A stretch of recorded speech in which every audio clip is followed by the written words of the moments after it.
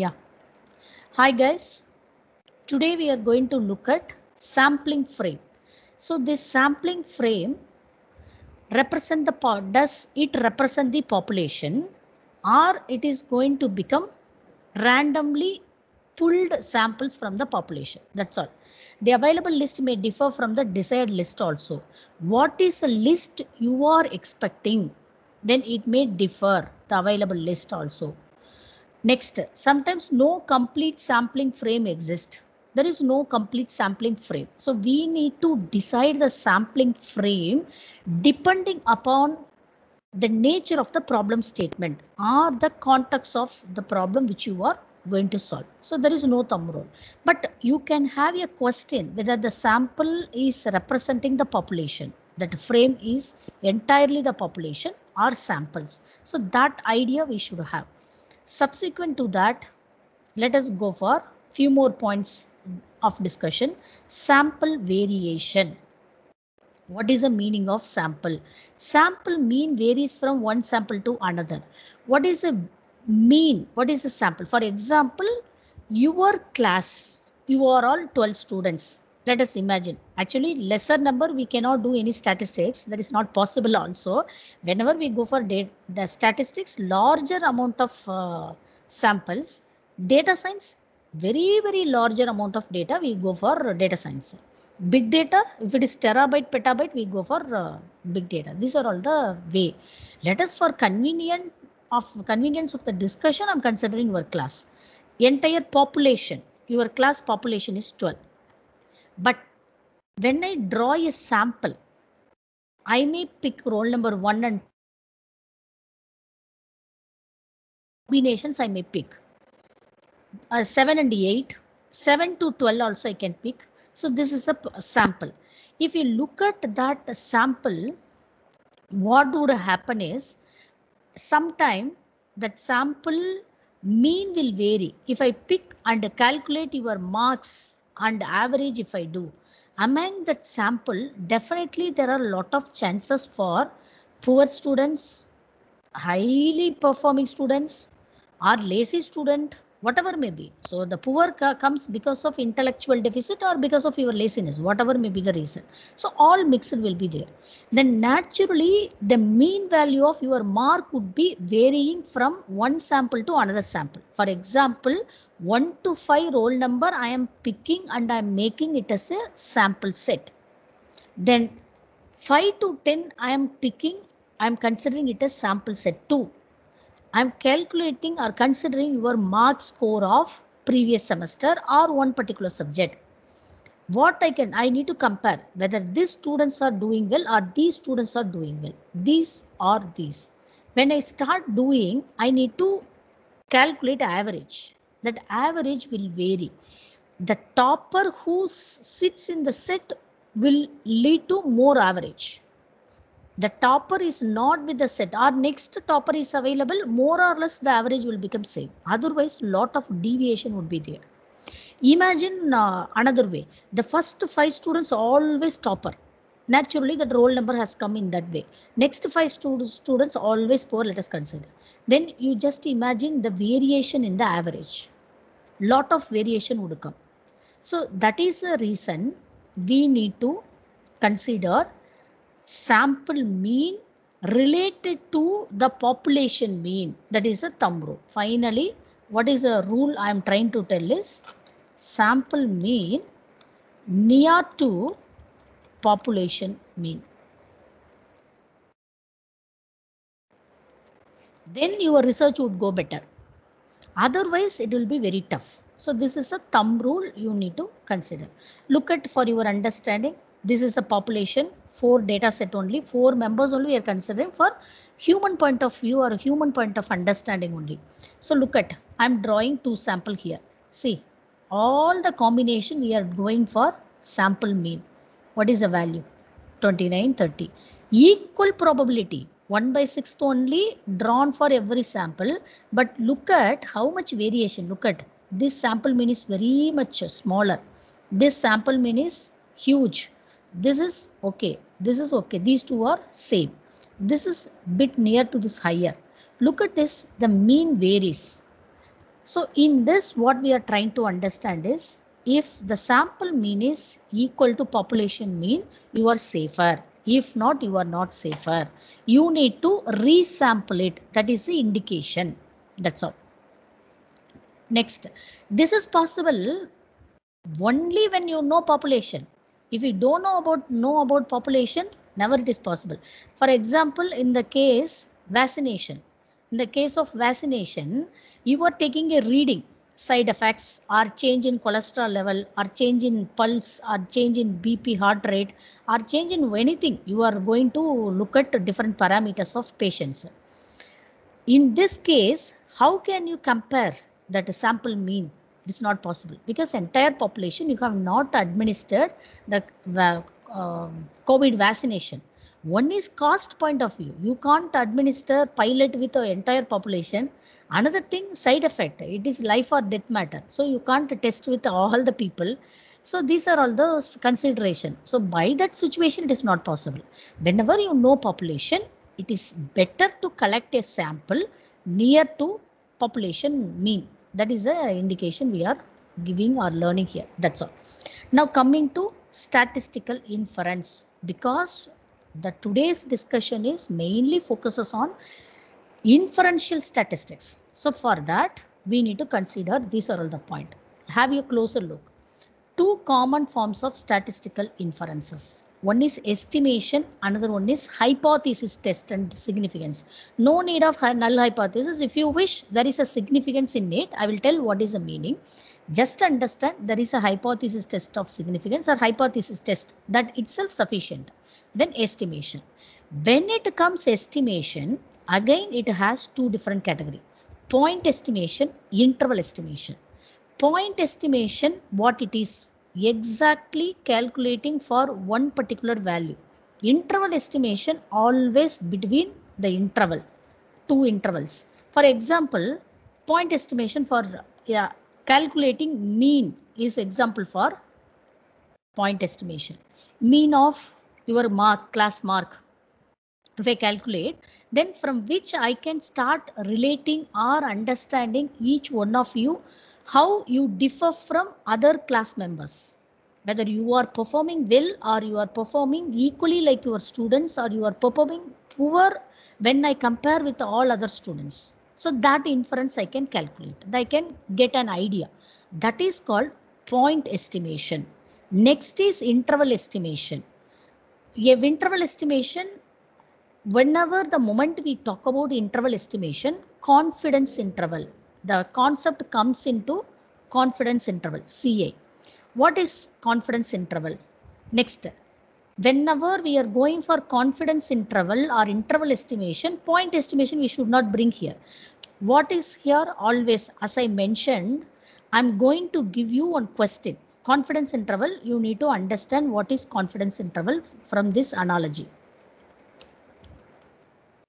What is the analogy I'm giving? I'm going to pick a roll number, any one of you, randomly. Imagine, no need to communicate now. I'm going to pick a roll number, 802. Let us imagine. I'm going to put her a question. What is the probability of getting 73 exactly? It should not go less than also, greater than also. I don't want greater than also. She may be extraordinary in studies, 100 out of 100. I don't want. I am asking probability of getting 73 in business analytics after the end examination. Then what is the confidence you will have? For this question alone, I'm asking your confidence. It is very tough. I'm not at all bothered about greater or lesser. Then the confidence would become approximately 0% only. Not at all. We can't give any other thing. For the same roll number 2, I'm going to ask the question, what is the probability of getting your marks, particularly your mark in business analytics between 45 to 73. If I am giving, then naturally your confidence would become, confidence interval is related to confidence only. I'm giving some boundary conditions, 45 to 73. Then your confidence, the, con the way you can predict or your confidence would become. Let me put one more way 65, let me put or 60. Here also I'll put 50, 50, something like within this very closer interval. Confidence may increase right now up to 30%. I'm not sure whether roll number 802 is poor performer or top performer. I'm not sure. So, but I'm giving that interval. If she is very poor performer also, the confidence will go low. If she is highest performer also, confidence is low. That is why I'm writing 30%. So that this is second level. I'm increasing the interval. Look at now. 30 marks to 70 marks.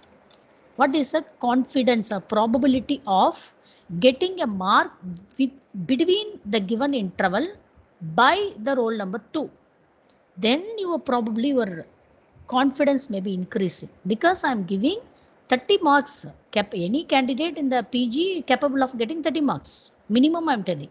70 marks. Yeah. Suppose if she is a super duper performer, that is why that 40% I'm reducing. Now I am going for 20 marks to 80 marks. Now the confidence of that candidate would become 80%. Now I am giving the interval 10 marks to 90 marks. What is the probability of getting the mark within the given interval? 90%. Now I am increasing what is the probability of getting mark between 0 to 100, 100% because no other combinations available. 0 is a dead least mark, 0 and 100 is the highest mark. So I am giving the complete span so that 100% you are confident. Yes, I will get is within 0 to 100 only. You have more confidence. Now what is the question? Why we need to go for statistics? Never we need to think of 100% because there is no use of keeping that much range, highest scale. We should not go for the highest statistically what, how statistics helps us is not for these two category. These are all danger. These two are not at all interested to do. We need to compute neither with the low confidence also. Within this, for example, I want to offer a credit card. This is a green signal. This is what right one. I want to offer a credit card. I want to find out who are all the customer can be identified as loyal customer. Never it is possible to consider all the customer, no? If I give 0 to 100 like your mark, if I consider all the customer as a loyal customer, then I will go loss. That's all I need to shut down my business. I need to go and hang myself. So that is the reason this confidence interval comes to the picture. Fixing the confidence interval within that we need to go for feasibility study. If i am giving you a credit card i will be looking at your CIBIL score. There is a CIBIL score for uh, identifying loyal customer. Or i need to look at your income. Family income or your individual income annual income monthly income whatever i need to do. Then i need to bring the interval. This interval to this interval if i give what would happen? Shall I give or not? That is the question. For that only statistics comes into the picture. By the time we cannot give to the least uh, score, CIBIL score, whomever having, we cannot only rely on only high CIBIL score also. We need to run our business. One or two miscellaneous uh, may happen. So that I need to fix the interval. CIBIL score of this to CIBIL score of this I need to consider the frame I need to fix, interval I need to fix, or else if I am giving the credit card for you, I need I need to fix based on your income. Let us consider annual income. From 3 lakhs to 8 lakhs, I can give. Or 8 lakhs to 25 lakhs income, I can give. Whatever, it is my choice. Because depending upon the scheme, depending upon my business nature, I need to take decision. That is the reason the confidence interval have come. It will give the probability for us whether I can proceed with the credit card issue or I should not proceed with credit card issue. It will give me a rough idea. 100% we can't rely also some 90% i can rely the statistical report so from that i need to analyze i need to think i need to go for piloting then things works out i can go for larger extent so this is how we need to work when it comes business uh, problem. Although statistics say good also abruptly you cannot go for all the customers. You first go for old customers or recently joined customers something. Go for or already you know who are all the customers having good rapport with your bank. So you need to try with those people or pilot with some member. Although statistics says good we need to go for piloting. After that we can extend for all the customers who belongs to that interval. That is the idea of business intelligence or business analytics. This is how people are taking decision when it comes to banking sector or promotional code or offer code. These are all the way. Because of huge offer they should not get into loss. To whom to give? How to attract then it comes to the other mining technique that and all different. Statistics. So statistics only guides them in decision making. So hope so you would be understanding what is confidence interval. Now the interval is too large then the confidence is becoming more and more. Similarly this also you are not supposed to consider. This is also worthless very lowest interval if uh, you are given and you are asked to calculate then you may not be able to calculate. It is not at all uh, good also. Exactly also not possible. Interval estimation means not exactly. It is not possible. 0% then with the least interval closed interval see i'm closing i'm phrasing. Only 10 point only i'm giving freedom. 30% if i increase what is the roll number 2 getting the mark between this interval 30 to 70 confidence is more. Yes she can pass definitely. She can get at least nearby 70 then if i am increasing 20 to 80 even if she fails also fine. So 20 marks. I'm giving this interval for all of your class. Definitely this is the best interval i can say for your class. Every one of you capable of getting at least 20 and above mark every one of you capable of reaching up to 80 that much i'm sure in your class. Now itself before even conducting any exam because this is a natural tendency of students you know when the student become pg graduate definitely she or he would be doing capable of at least 20 marks. Then capable of doing up to 80 marks. This is possible. That is the optimum interval i have chosen when come to academics this is not at all possible. This i should not lose. Then there is no inference will come. I can say perhaps this would be the best interval right choice. This is the right choice in conducting experiment or uh, statistical analysis. This is the right choice. No it it is not diluted like this. I'm not giving the complete interval. I'm not giving uh, what to say smaller range. This is the right choice or this also you can choose it as a right choice. That's all. Hope so you would be understanding. If you have got any doubt you can clarify. If you have got any doubt related to confidence interval so far now you can have discussion. Now itself. If not let me proceed or else at the end of the session you can communicate. Let us move on to central limit theorem this central limit theorem what it says is the sample size is larger. Naturally it will resemble the normal distribution. Central theorem central limit theorem is related to normal distribution. Most of the statistical tools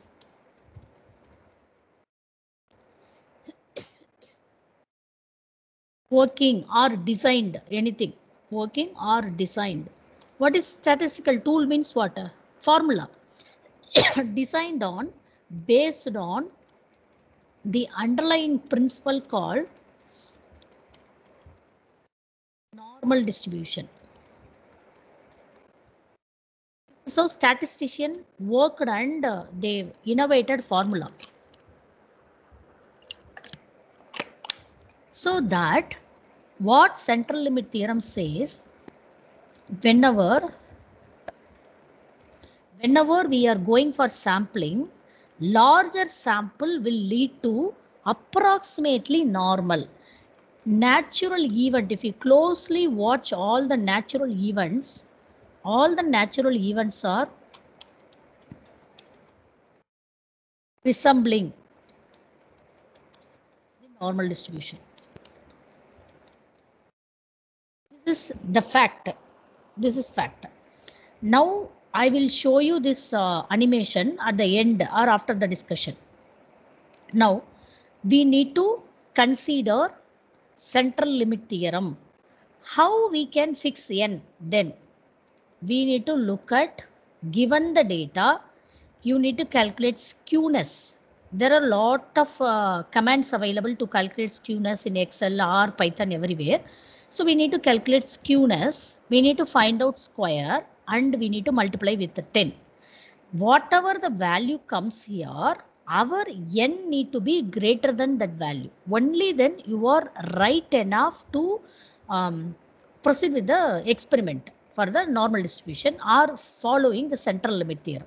That is a thumb rule that we need to buy heart n must be greater than or equal to 10 into skewness of square skewness square so this is the thumb rule or formula we need to consider. In general now the next question. N is too larger. You should be happy. No need to worry. Minimum criteria it should fulfill in order to consider your uh, data to be normally distributed. This is one of the thumb rule. There are few sector it is not at all possible to go for uh, uh, normally distributed data. For example uh, tumor mri scan ct scan or whatever you take uh, tumor measurement of tumor that perimeter convex some uh, what uh, what else uh, circumference so many things we will be calculating. Then identifying whether that tumor is cancerous or not malignant or benign. That is the malignant is the word uh, stands for tumor having cancerous cell in it. So that in that situation the tumor measurement that property the texture whatever all would become same. It will not vary from patient to patient. There is no minimum end there is no maximum end no average distribution. Already i have shown what is normal distribution. Again i will be touching upon. In that circumstances never ever it is possible. When you consider math marks marks for example marks there are lot of chances. Because we are working in the self finance institution different quota people are coming. Sports quota so many quota. Government gives lot of schemes. Academic quota or meritorious quota some quota you people are coming. Then definitely it will follow normal distribution.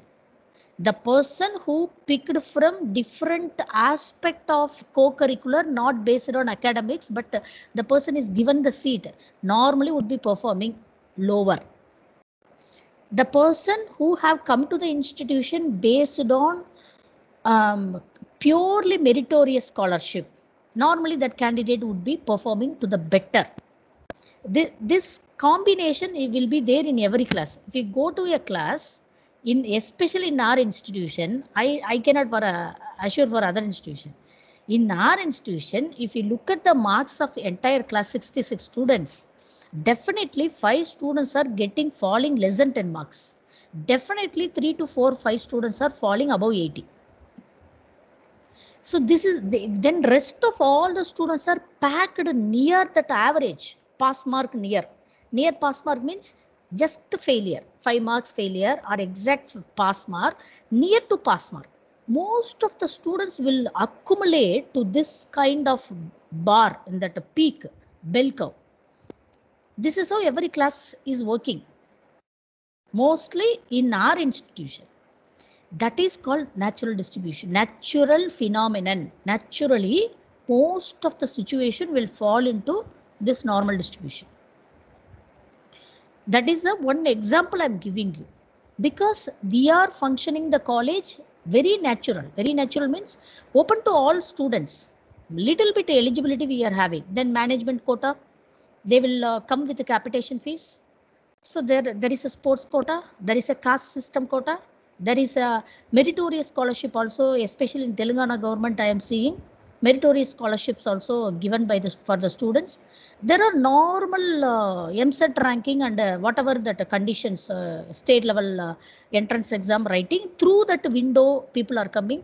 So varied uh, category of people are uh, stepping into the institution. Then naturally the and another way there are students not because of these all. Till plus two or till their inter people are putting a lot of effort and hard working and getting good marks.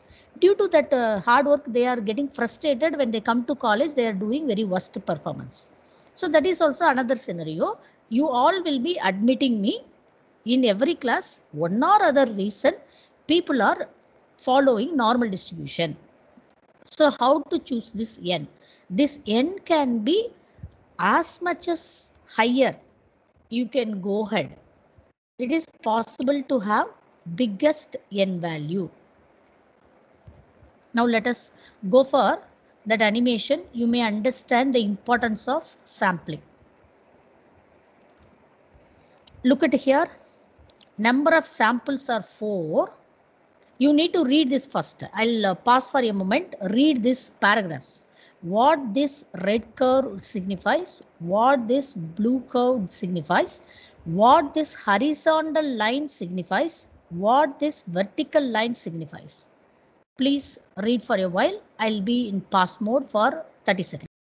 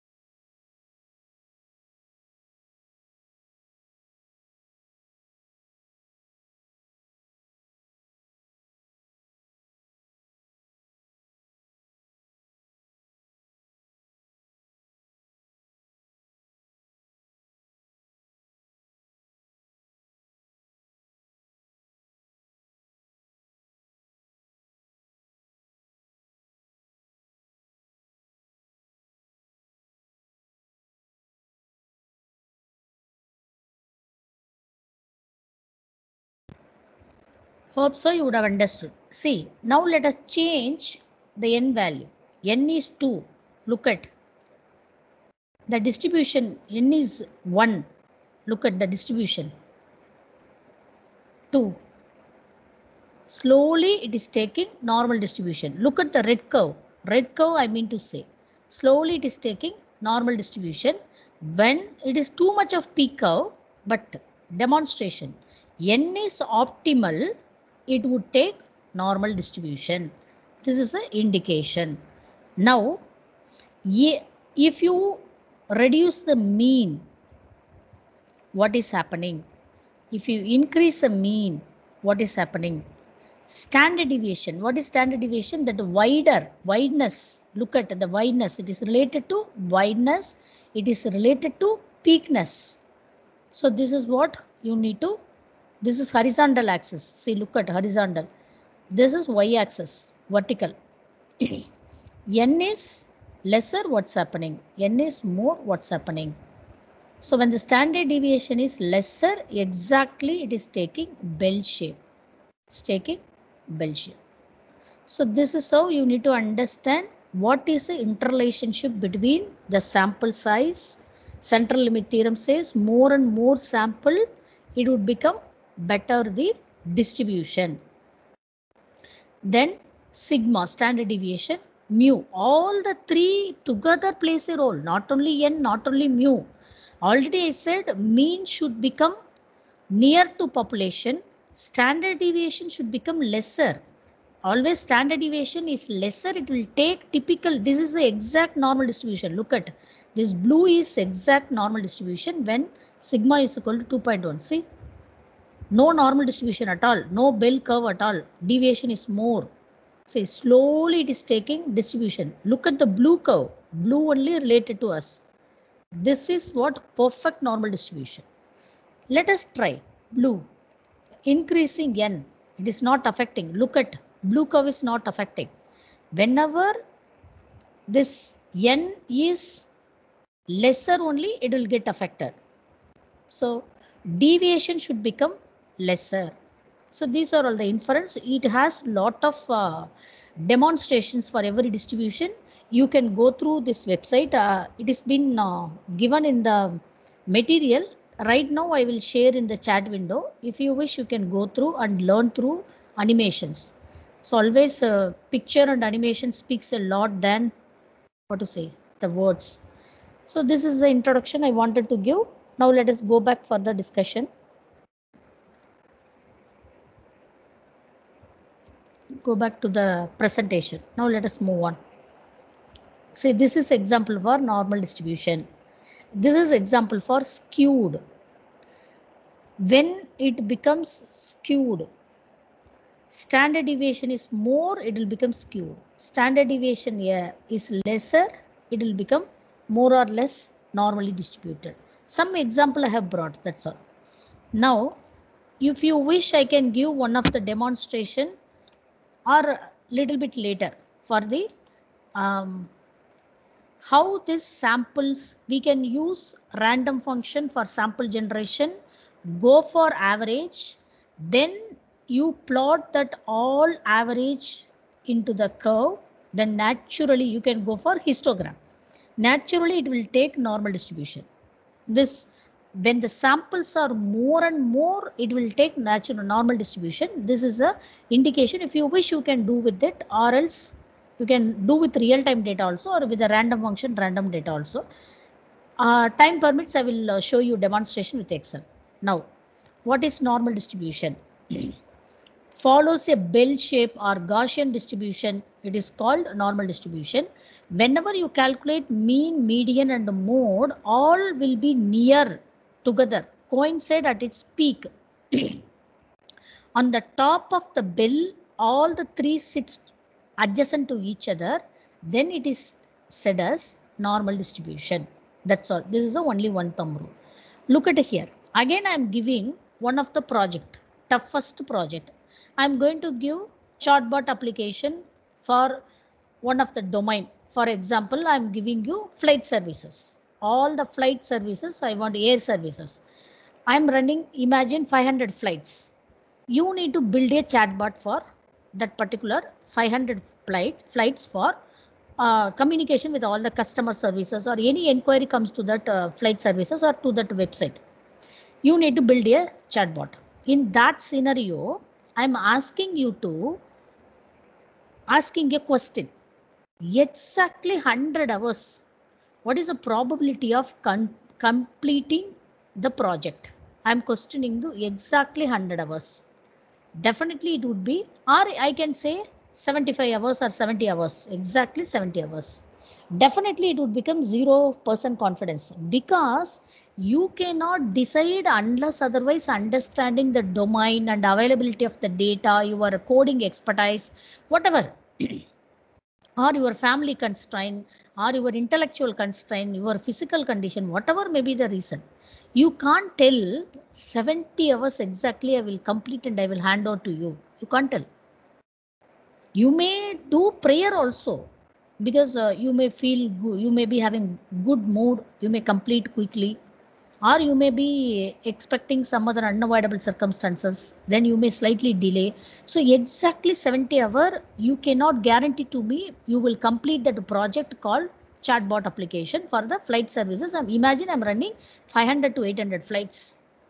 In that situation how much perfect app you need to give imagine then i'm fixing the condition. Exactly 70th hour you need to release the project. It is not possible you can't guarantee. Zero, this again confidence interval I'm telling, 0%. Between 90 hours to 110 hours, 40%. 90 hours to 150 hours, 70%. 0 to 300 hours, you will say 100%. So this is the another example for confidence interval. Now let us slowly move into because there is a relationship between confidence interval and the normal distribution, you need to understand these two first. Next, look at this normal distribution. If you look at your mark, there are few students will fall into this tail. 0 to 5 marks, 0 to 10 marks. There are few students will fall into this tail, more than 70 marks. Most of the students will be packed together this nearby, this red color region. Naturally, it will follow. what is the statistics says? Let us forget about our mark. 68% of the data. Imagine you are having 100 students mark or 1000 students mark, whatever. Among that all the marks, 68% of the marks sits close to that peak red color. 95% of the data sits within this spread. This is called standard, one standard de deviation, two standard deviation, three standard deviation. So 68% fall within one standard deviation. 95 fall within two standard deviation. Three that uh, uh, 99.7 fall into third standard deviation. So this is called normal distribution. If you plot the data, imagine 1000 students mark I am collecting from our institution. 1000 students mark. That entire 1000 students marks, if I start plotting, it will take natural distribution. More or less, it will become normal, not exact, never. More or less. What is the meaning of more or less? The percentage vary. Maybe here it will be lesser, here it will be more, here it will be lesser. More or less, it will take this shape. So this is called normal distribution. That is called uh, 68, 95, 99.7 rule. Now look at next confidence interval. 100% confidence interval. Never we will be doing. Will be going for 90%. Any, you can fix any confidence interval. Values are available. Not only these two, but widely people are using 90%, 95%, 99%. Widely among all the researcher or all the statistician for uh, among all the business uh, stakeholders, the possibility of using confidence interval is lies with these three. It doesn't mean that you cannot calculate confidence interval for 80. You can't calculate for confidence interval for 85. It doesn't mean that. But widely people are using like this. So that alpha value for the confidence interval 95% alpha value. What is alpha value? You need to understand. Exactly the alpha value is dependent upon the confidence interval. Any of the book or problem, if you happen to see, mostly it lies the alpha value 0.05. that means people are using 95% confidence interval. This is, although I am telling three types of confidence interval, 95% confidence interval only widely popular. Most of the people, 99% people are using 95% confidence interval. This, the either you may look at confidence interval or you may look at alpha value. Both are interrelated. This alpha value is highly dependent upon the confidence interval. That's all. So this is the rule. How they are calculating? Say, look at mean minus standard deviation. This is exactly mean. Mean plus standard deviation. This is one standard deviation. What is two standard deviation is mean plus 2 into sigma. So that is this two standard deviation. Three, similarly, this end, this is uh, negative tail, this is positive tail. So this one or minimum tail, no need to become negative also. This is minimum representation. This is maximum towards maximum representation. This is towards minimum representation. So that we need to do this end all subtraction with the standard deviation. This end we need to do all addition with the standard deviation. mean and standard deviation. That's all. Look at here. Where the mean?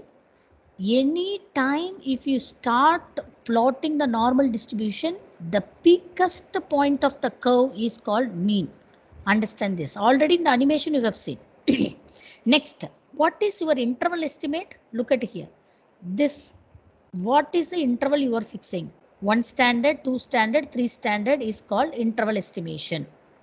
Next see look at 95% interval estimation lies where two standard whenever we are looking say 95% is with the two standard That is the reason people are going for 95% uh, interval because these all will happen exceptional. Say among in, in your class also, people um, possibility of getting zero mark or five mark near zero mark is very lesser. Maybe one candidate or not at all.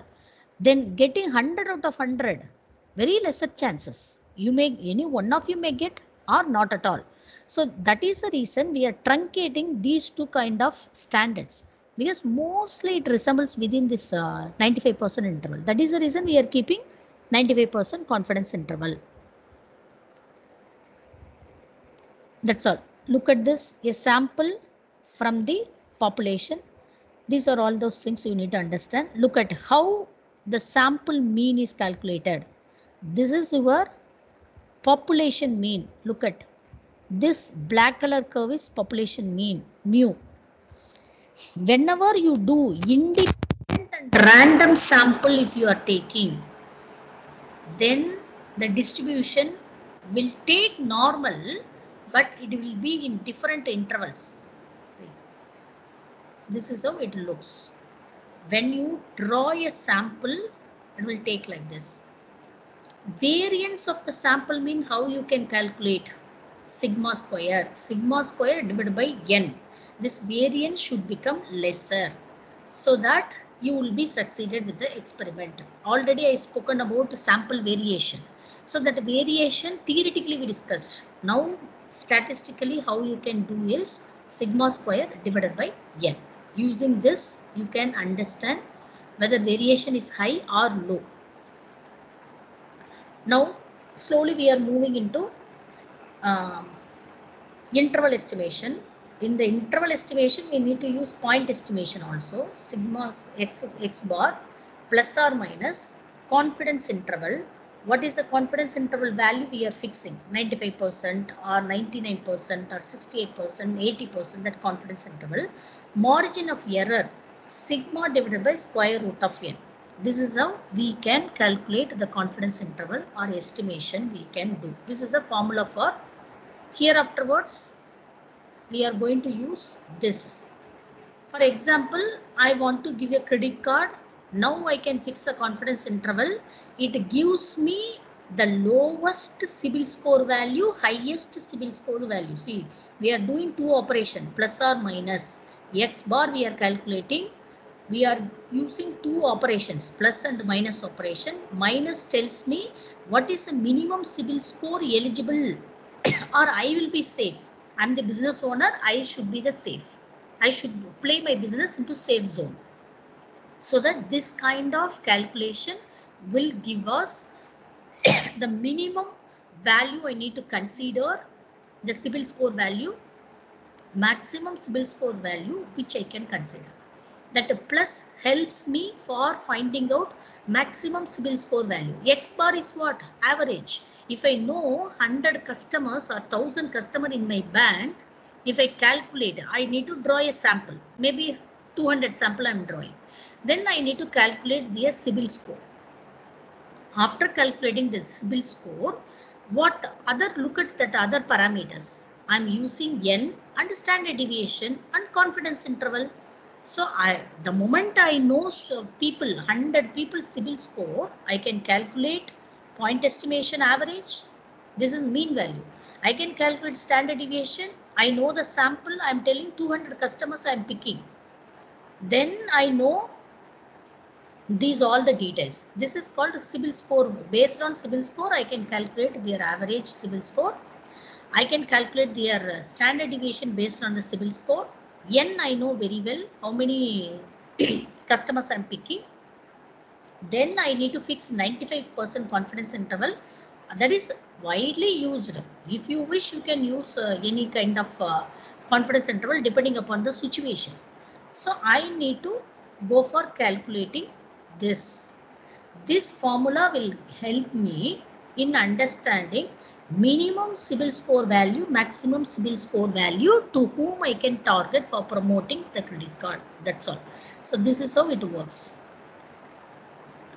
confidence level, sample distribution, rejection region. This also rejection region when it becomes 95%. These are all rejection region. So these are all sample mean, lower confidence limit, This helps me upper confidence limit. The, this formula illustrated through visual. This is a formula. This is illustrated through visual. X bar. So this is the upper limit. This is the lower limit. Then these all I am going to reject. That's all. This is the distribution. Then this is the confidence level. Area under the curve always it would become 1. That never ever you should forget. Next, interval estimation of population mean. Interval estimation of population mean. Two times I have written. Look at here. When the variance is known. What is the variance? Sigma. Sigma is given variance. You can go for interval estimation with the population mean is a test. Finally, what I am trying to tell is if you are trying to calculate for population interval estimation, you are trying to calculate for the population z test you need to use. If you are trying to calculate interval estimation for the population mean or sample mean, if you don't know the variance, then you need to go for t test. That's all. When to use z test, when to use t test. That is what the next point of discussion. Again, within t test, lot of variations. First of all, the population mean sigma is given, we need to go for z test. There is no other choice. When it comes t test, again we need to invest minimum two more hours to understand hypothesis testing types of t test. One tail t test, two tail t test, one sample t test, two sample t test and these all combinations. We should know one tail, uh, one sample, one sample, two tail, so that all combinations when to use when not to use that understanding is required further right now population variance is given. This is the known variance z test. If sigma is not given then you need to go for t test. Look at z distribution standard normal. T distribution n is close to 30, T distribution n is smaller than 30. So how the distribution looks when the n is becoming more population normally n becomes more so that it takes exactly normal distribution. Look at the blue curve. When it becomes 30 near normal distribution. Lesser than 30 never it will be normally distributed. So this is another understanding that's all. Population always it will follow normal distribution for most of the circumstances. I am not guaranteeing for all the circumstances. With that note, I think we can conclude. Afternoon, I do have another hour. We start this problem statement from the next class onwards. So if we solve one or two problem, you can able to understand how exactly these all stuff works. Z test and t-test how it works. So for every test, z test one problem, t test one or two problem, let us do one tail sample, one tail uh, test and two tail test. So like that, so three problem minimum I will try to do or four problems so that you can understand better.